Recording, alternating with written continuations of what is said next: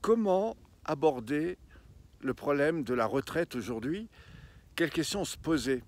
Est-ce que c'est plus important de se dire, bah tiens, euh, je vais être à la retraite à 64, 65 ou 63 Ou est-ce que c'est plus important de se dire euh, comment je vais faire demain pour payer mon électricité, payer mon essence? Alors euh, évidemment, moi je me pose la question de la retraite, c'est effectivement important et je crois qu'il faut faire attention à ce qui se passe et évidemment exprimer ce qui ne va pas. Néanmoins, je pense qu'aujourd'hui, le vrai problème, c'est quand même la santé. C'est la santé, pourquoi? Parce que de plus en plus de gens s'usent au travail, se sentent fatigués.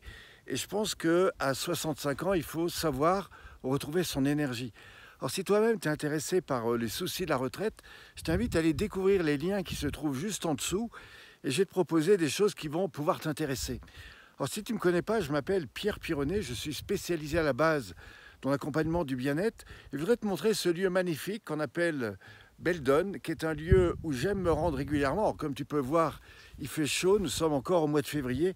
Et je vais te montrer même le taillefer qui se trouve juste en face, tu vois. C'est absolument magnifique. Alors si je te montre cette vidéo, c'est parce que régulièrement, je profite de la nature, je profite du bien-être.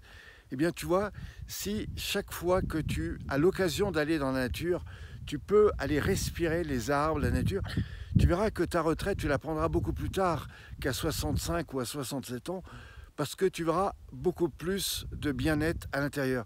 Maintenant, si toi-même, tu peux pas aller dans cette nature, parce que tu dois te dire, oui, mais lui, il est euh, évidemment à côté, ben, je t'invite à aller découvrir les liens qui se trouvent juste en dessous. Pourquoi? Parce que je propose des techniques qui ne sont pas du sport, qui sont juste des techniques qui vont te permettre d'aller beaucoup mieux dans ta santé, dans ton corps.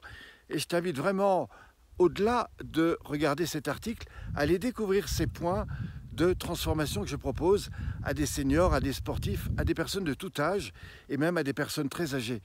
Aujourd'hui, j'ai pas loin de 60 ans et je me trouve à peu près à 1500-2000 euh, mètres. J'ai aussi des problèmes cardiaques et pourtant je suis capable de faire 1000 à 1500 mètres de dénivelé et tout ça en moins de 2 à 3 heures tout simplement parce que j'utilise ces techniques. Si tu veux en savoir plus, tu vas évidemment sous les liens qui se trouvent juste en dessous et je t'en dirai plus un peu plus tard. À très vite, merci à toi.